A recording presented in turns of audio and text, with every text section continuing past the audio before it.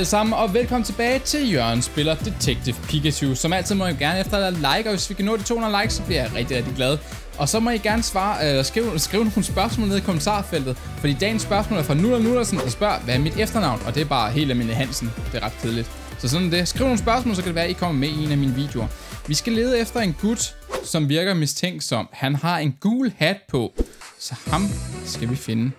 Hov, oh, der står Brad derovre. Cool hat. Så vi øh, spørger bare en øh, masse folk om alt muligt snask her. Åh, oh, hvad, hvad er der med Volbeat her? Øh, ja, du skal bruge Volbeat til, han er en slags mærke. Hmm. Øh, okay, vent lidt. Volbeat. Lad os lige spørge det her oven igen. Så du har brug for Volbeat til at justere dit kamera. Ja, han er en slags markering, ja. Volbeat skal være i midten af prøven. Og så øh, flyver vi den samme rute, som de vil under den aktuelle parade, eller under paraden. Så vi kan skyde, hvis vi kan skyde Volbeat nu, så vil vi være i stand til at skyde paraden. Jeg ser, det lyder som om, I alle, alle er klar. Det kan du godt sige. Nu har, vi brug, nu har vi bare brug for at prøve det rigtigt. Det er så smukt, når Volbeat flyver sammen med paraden. Okay, så Volbeat skal folk følge. Åh, oh, Tim. Brad, er du her for at holde øje med paraden? Åh, oh, det er den her gut igen. Nej, Inspektor Holiday har informeret os om, den, øh, om, om situationen. Jeg leder også efter R sammen med Magnetric. Manak. Jeg regner med dig, Magnetric. Ifølge dokumenterne, Tim, har fundet til os, så har er en, øh, en lille, men alligevel en, øh, en duft. Og Magnetrics næse er meget sensitiv, så den burde være i stand til at finde den. Bare efterlad alt til os. Og den dufter åbenbart. Okay, så de er gode nok. De hjælper os. Hmm. Nå, sikke en situation. Jeg kan ikke acceptere, at så en ligesom dig blev, blev øh, kun øh, blande dig i politiarbejde. Men det her, det er en, øh, det er en alvorlig situation, så jeg, jeg har fortalt, fortalt alle politibetjente, at de skal hjælpe dig på en hver måde mulig. Tusind mange gange tak. Jeg skal nok snakke med dem. Ah, Brad. Det ser ud som, hans hjerte er på det rigtige sted. Hmm. Det er irriterende, at han skal være så ond mod os dog. Men Electric og, mig, og mig, vi skal nok øh, løbe efter R, hvis vi finder det. Bare lad mig få at vide, hvis du ved noget. Inspektor Holiday øh, er ved at få høre Keith ved stationen. Han sagde, at han vil komme, så snart han er færdig. Hvad med Magnetic? Magnetic, Magnetic. Okay. Okay, okay. okay. Magnetic synes, synes, vi skulle smutte. Øh, og dem har vi talt med, eller hvad? Er vi ved at være hele vejen rundt? Er vi det? Det tror jeg måske, vi er. Hvad sker der, hvis vi går i case files? Skal vi lige se, hvad der sker her? There are three locations where R is hidden in the square. Let's look for him. Nej, okay, han er ikke klar endnu. Nå, nu begynder det at blive der, hvor jeg er sådan lidt øh, forvirret så. Jeg har talt med alle. Lad os lige gå sydpå igen. Vi har da seriøst talt med alle, ikke? Ja, ham har vi talt med. Hende har vi talt med. Lad os lige smutte herover til højre igen. Det kan også være, at vi skal tilbage op. Helt op igen. Hvor det er lang tid siden, vi har været der. En... Åh, det er næsten tiden, hvor vi skulle mødes. Ja, lad os gå op og finde Emilia. Ja, det var bare fordi, vi skulle tilbage nu. Ah, det er derfor, der ikke skete noget. Vi har snakket med alle, vi skulle have. Vi har fået alle de clues eller hints, vi skulle bruge. Så nu skal vi nok bare op og snakke med Emilia igen. Jeg er faktisk nærmest sikker på, at der sker noget nu. Nu kommer der sådan en cutscene eller et eller andet. Har jeg ret? Nej, ikke helt endnu. Så skal vi lige trykke på Emilia, så kommer der en cutscene. Tim. Tim, har du opdaget noget, der er mærkeligt? Mm, eller hun har opdaget hun noget ved GNS der, for det så jeg faktisk ikke lige, hvad der stod. Øhm, hvordan har du det? Har du fundet noget, nogen info om R? Ja, vi ved, eller ja, vi ved ikke præcis, hvor det bliver gemt, men vi var i stand til at få noget information, så vi skal søge det igen, og så skal vi tænke tingene igennem. Please lad mig vide, hvis du finder noget. Lad os organisere, hvad vi ved, Tim. Var der noget, der fik din øh, opmærksomhed med de forskellige tanker med R? Altså, de blev brugt som alle tingene. Men uh, umiddelbart vil jeg sige, at uh, det, der giver mest mening, det er, at de bliver brugt øh, som en kapsel til maden. Men det kunne også sagtens være gas.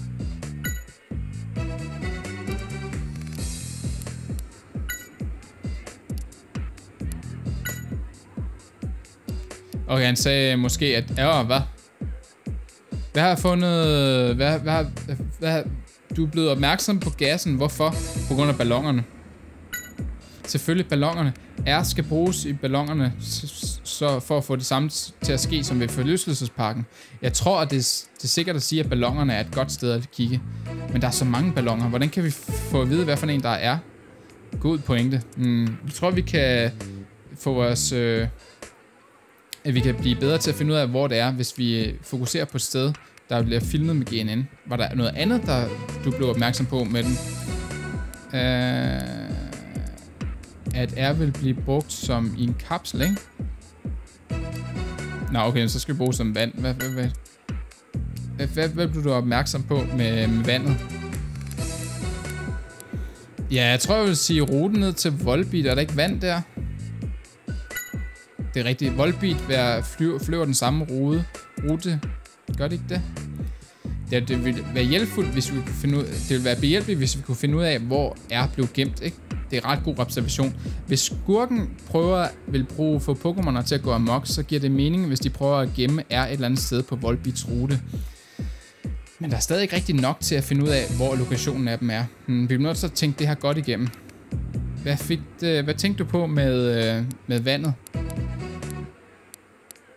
Hvem er den Pokémon? Skriv dit svar nede i kommentarfeltet.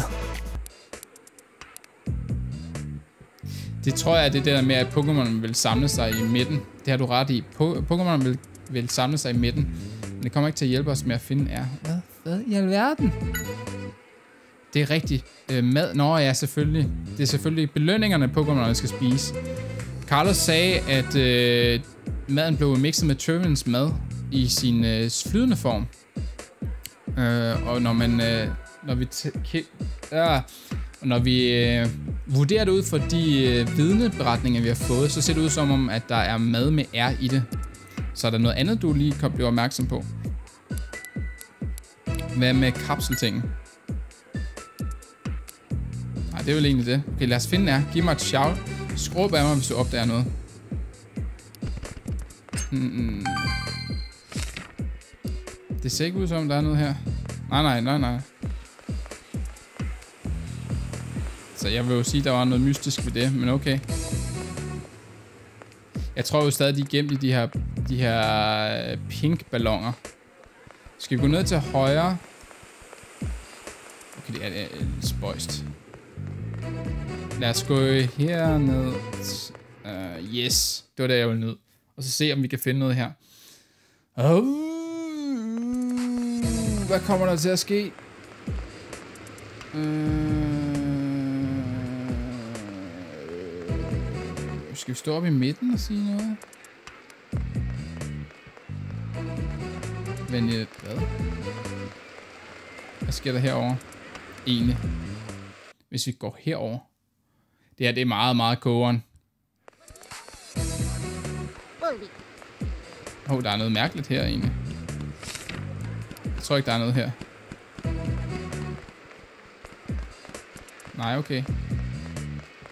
Det kan godt være, at jeg ikke helt har styr på, hvad vi skal her, men lad os lige, lad os lige tjekke herover. Loading igen! Kom nu! Så kom lidt tempo, tempo, tempo på spillet i stedet for.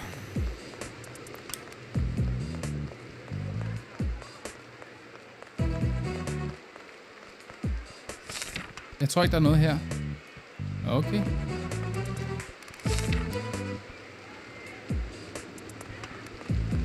Uh, jeg synes, det er mærkeligt, at den der store en er der. Nå, så jeg ser, at den her butik har mad, som måske har R. Jeg tror, det er meget mærkeligt der sted. Lad os få Manek til at tjekke for os. Manek, kan du dufte R her? Du har gjort det godt, Pikachu. Okay, vi har fundet det flydende R. Jeg ser, om Brad kan klare det her, og så finder vi det, det er resten af æren. Hey der, Tim. Hvad foregår der i dag? Nu var du lige sn snakker om R, ikke? Hvem er den her gut, Tim? Og det her det er Mr. Roger Clifford. Han er producer hos GNN. Det er godt at møde dig, Mr. Brad. Og så du ved allerede omkring R. Du ser, jeg har fået rapporter om, at der er noget R, som er blevet plantet rundt omkring ved paraden, eller plantet på den vej, hvor paraden skal gå nedad, og vi er ved at undersøge det. Men som du kan se, så er vi ved at lave fremgang i at finde det, så du skal ikke bekymre dig. Selvfølgelig, jeg er så glad for, at den her by har fået øh, har et, øh, en politistyrke, man kan stole på. Og der igen, Brad, han snakker alt for meget om R, og det er til folk, som ikke bør vide, hvad vi snakker om. Undskyld, Tim. Øh, jeg vil gerne lige undskylde mig selv, men pas nu på, okay? Når alt kommer til alt, så kan din Pikachu ikke bruge nogen angreb, vel? Jeg tror, at tingene kan blive farlige, hvis du ikke øh, løber snart. Okay, er han alligevel skurk, eller hvad? Løb, hvis du er i... What? Er han en skurk, ham der alligevel? Hey, Tim! Hmm. Nu ved Roger omkring R. Nå, det kan vi ikke gøre noget ved. Lad os tage hen til Emilia og finde ud af, at vi har fundet en slags R. Ja. What? Jeg håber ikke, han er skurk eller sådan noget. Det kan godt være, at han er skurk. Hej Tim. Godt arbejde på skibet tidligere. Åh, oh, Mr. Graham. Jeg er overrasket over at se dig til paraden. Er der noget, der foregår her? Nej, overhovedet ikke. Jeg vil bare gerne øh, tage en lille pause med alt, hvad der er sket tidligere. Og det er godt tænkt. Det samme er gældende for mig. Jeg havde, havde ikke lyst til at tage på... Jeg kunne ikke rigtig nyde øh, cruiset, efter Gino blev arresteret, så jeg, jeg besluttede mig for at gå af skibet og komme herhen til. Jeg ser. Og så den her gut kan være lidt sentimental, eller hvad? Men komme her, det var ikke et godt valg for mig. Nej, at komme her var et godt valg for mig. Øh, hvis du er her, så er der sikkert noget vildt, der skal til at ske. Hmm, og hvis der sker et uheld her, så vil det være et stort skub for os. Af hvad? Ah, jeg joker. hmm, jeg har... Øh, jeg har en... Og så havde jeg lige lyst til at føle lidt, lidt skyldig over for ham, at jeg har kaldt ham en idiot. Og så er han alligevel en idiot, siger Pikachu. Hvad siger Pikachu? Det ser ikke ud som, der er noget her. Nå, vi skal, hvad skal vi nu finde yes. ud af? Hvad så? GNN har eksklusive rettigheder til at, øh, til at overvåge paraden i år. Hvis der sker noget, så er det et kæmpe skub for os. Mm-hmm. Oh, wow. Mm, hvor i alverden kunne resten være? Hvad tror du, vi skal tænke på? Øh... Okay, vi skal finde gassen nu. Okay, så skal vi til at finde gassen. Det må være et af de steder, hvor der er ballonger jo. Af gode grunde. Tror du, det er den her ballon? Det vil give mening. Da den lige får en masse kamera. Og så er den en del af ruten for paraden. Det er altså lige for Manectric til at dufte til dem her. Okay, det var lidt kringlet at finde ud af. Manic. Den siger, at den i hvert fald kan dufte er. Godt, så er gasformen også taget. Så har vi også fundet ud af det der med gassen. Så er der kun én type er tilbage. Det er kapselformen. Den samme som Keith har brugt før. Hmm. Jeg ved, i forhold til, hvordan han har brugt den, så tror jeg, at der må være en eller anden nede i, som ved, hvordan man øh, kaster med den. Nu var jeg tænker over det, var der ikke nogen, der sagde, at øh, der var nogen, øh, der blev ved med at spørge efter ballonger, ballonger og mad. Det var en mand med en gul hat. Det er rigtigt. En mand, der havde en ny gul hat på. Ja, vi burde kigge efter ham. Hey Pikachu, den person derovre. What? Skurk, skurk, skurk efter skurken. Hvad er, at Magnetic skal dufte på ham? Han har en gul hat på. Tim, vi er nødt til at fange ham. Okay, men hvad hvis han nu begynder at løbe? Jeg tror bare, han... Øh, okay, nu er vores chance. Vi bliver altså nødt til at prøve at se, om vi kan få fat i ham. Og politiet er også kommet. Du har ret. Um, nu vil skurken bare være i stand til at løbe ned af vejen til højre. Brad, vi har brug for din hjælp. Vi prøver at, at fange ham, manden der med den gule hat fra begge sider. Okay, jeg vil komme ind fra højre side så. Du er i hvert fald blevet mere respektabel, Tim. Okay, lad os komme i gang. Vi skal nok fange ham. Så hvis vi løber den her vej op. Okay, lad os gå. Ja.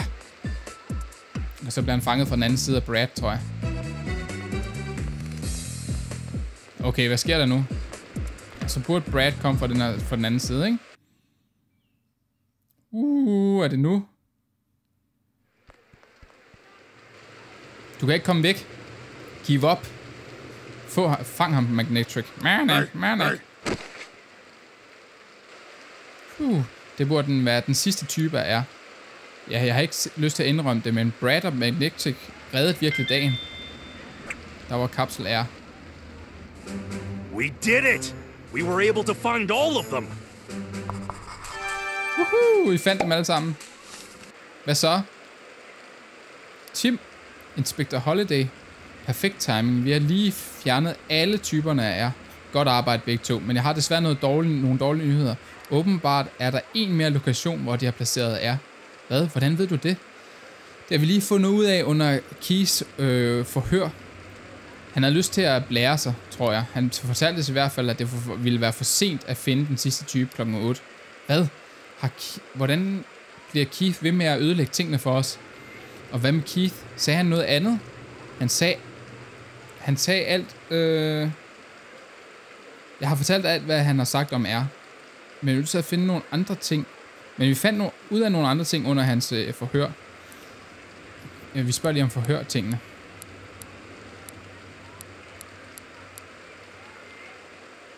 Kan vi ikke lige spørge ham om ham, der er mastermind? Keith sagde, at han har fået ordre fra et, mm, en gut igennem øh, breve og telefonopkald. Ja, åbenbart så øh, talte de sammen ret ofte. Han sagde, at han blev ved med at få ordre selv efter han flygtede fra GNN. Øh, og hans fjerde, pla- hans fjerde placering af R kom for nyligt.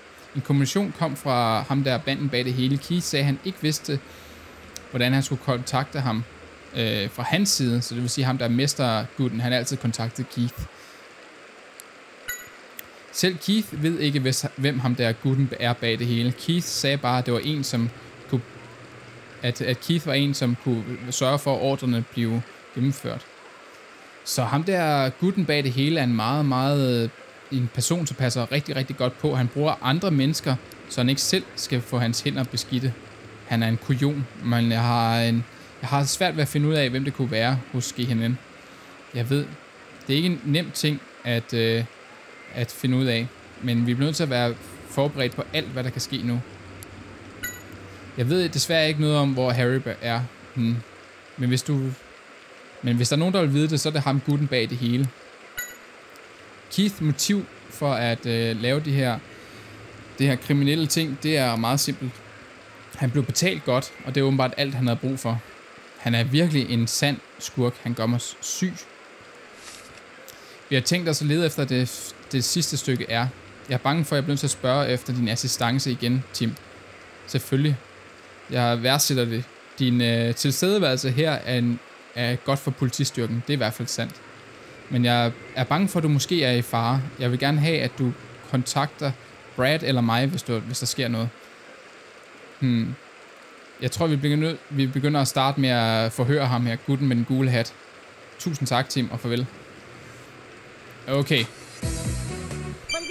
Okay, så vi finder ud af i næste afsnit, tror jeg måske, hvad der sker.